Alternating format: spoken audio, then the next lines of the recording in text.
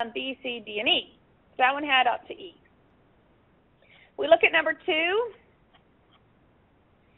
This is a math question. So they had to read about termites here, and they have a little data table here. And then uh, there's AI, which is pretty much just reading the graph or reading the data table.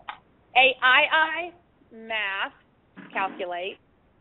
III, using the data to determine the amount, that's a calculation. IV is is not a calculation question, so they could answer that first. When they get to B, it looks like it's got some numbers in here. It looks like it's going to be a calculation question, but actually it's not um, a calculation question, and neither is C. So if I if this we just looked, it was a 3.57 national average.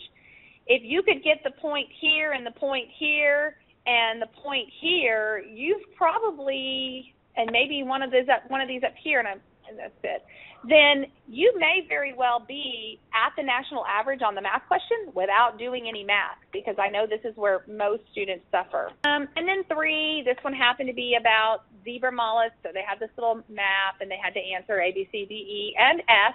And if we look, this is a good example. Identify and explain. Discuss two, capital. So these are not these are not just one sentence answers. If they had just said identify one impact, then you could have done that in one sentence, but it didn't. Most of the time it says to identify and explain.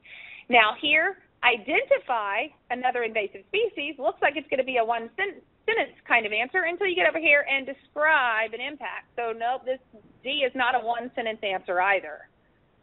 Uh, we have a question that came, Courtney, there's a question that came in. What is the okay. format of the FRQ answer sheets? Do the kids have a big blank page? Is it not have, divided up with the sub questions? Right. Their their test booklet. I think that's what they're asking about. What does the test booklet look like? Is that is that the question? Exactly. Okay. So yes, they're gonna on the test booklet. This let's say it's question number four. Question number four will be written just like this at the top, and then so that's about half a page, and then it will start with lines and lines underneath, and then there'll be lines, a whole page of lines on the next side, and then another whole page of lines, and probably six or seven pages of lined paper for question four. And the same for one, two, three.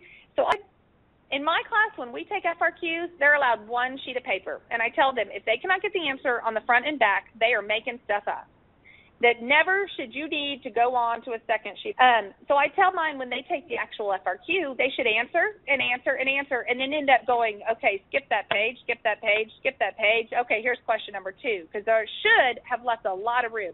I find that kids that fill up all the line paper at the reading don't get any points. They don't know what they're talking about. They're just trying to guess, and they're just like throwing out everything they can think of.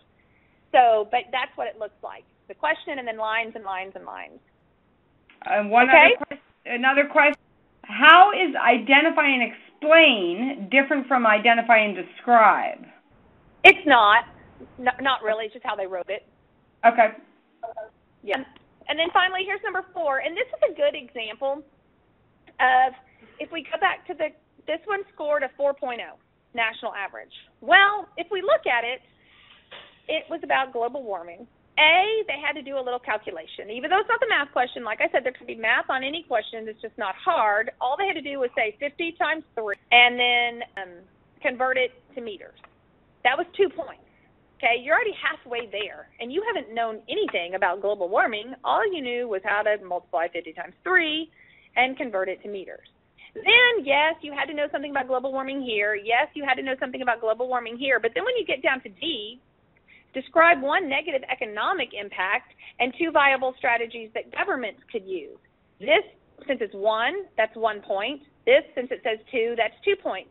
If they can talk money and jobs, it's about the sea, talk something about jobs near the coast. And if they can talk, educate the government about global warming, which they can get from the question, uh, educate the, the government, I'm sorry, educate the, educate the public. If they can talk, you know, tax people that live on the coast, if they can talk, um, uh, make a make a law or something, that's a point. That's two points. If they had gotten A, and then I and I, they've already hit five points and haven't shown it. They haven't shown that they know anything about global warming. They've already beat the national. and hopefully they'll know something about global warming and can get some more points. So you can see question number four is generally pretty easy, but oftentimes low scoring.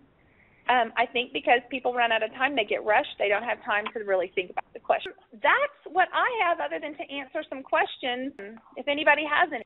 Um, there just there was a couple WebEx issues, but I think those are straightened out. Uh, Therese, if you could just raise your hand so I know that you are actually on the same page as us now. Yes. Thank you. We're good, Courtney. Okay. No, I was going to answer questions. I have. A, I just noticed um, there are some while I was talking um, some private questions that have come up for me, and I haven't had a ch- chance to read those yet. So if you're waiting for me to answer a chat that just came to me, I'm sorry. I'll get to it, and I'll get to it at the end. Any other we're, we're questions? At six, we're at 6:21 now, just to give you a time. Set. Okay. No, I'm done. If anybody has questions, that's it. Well, you want to go through those pri- ones that were sent to um, you privately? Oh, there, there's a couple coming in now. Do you see okay. these on the chat now? Um, is it the one from uh, yeah, ex- Denny. Yeah, Denny and Tom and Elisa and Stuart and Patrick. Mm, I've already answered that one. I've already answered that one.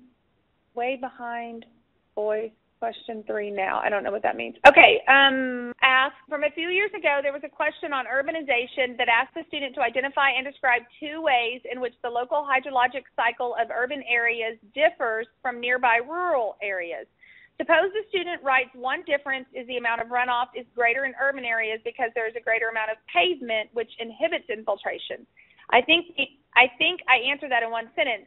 Would I not get the description point for the identification? Okay to everybody, including Mike. Yes, sometimes you can get, if you can adequately describe it in a sentence, great. But I tell my students most of the time you can't. Most of the time you're going to need a little bit more. But yes, I would say you definitely adequately described your answer in one sentence. It was just a really long, so you kind of got it all in there. So it, that just, the next one says, Examples of reviewing, so it is not all PowerPoint notes or straight lecture. I've used concept maps and whiteboards, other suggestions. During review time, what I've done is we have stations around my classroom. Um, for example, one station, kind of like games, but not exactly games. One station, it's a box filled with just uh, random vocab terms that, ha- that are from our class. I just typed them up real quick.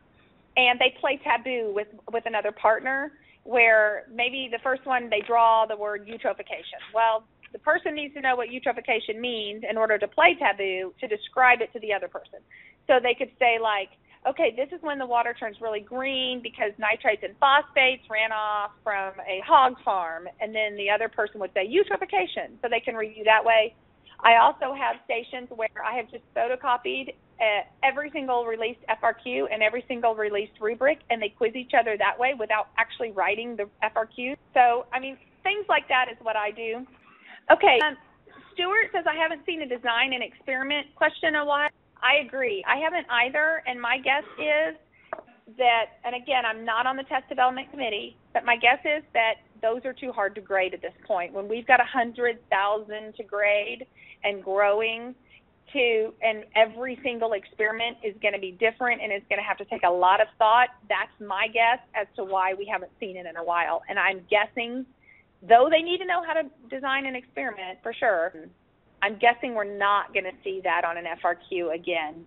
But I don't know. But that's my guess. And I think I just lost everybody. Did I just oh, lose you, you again? just got yeah, you just got bumped out again. Oh, Okay. So can well, you I'm, not... I think you still hear me, but you're going to have to yeah, I'll read the uh, questions to you then.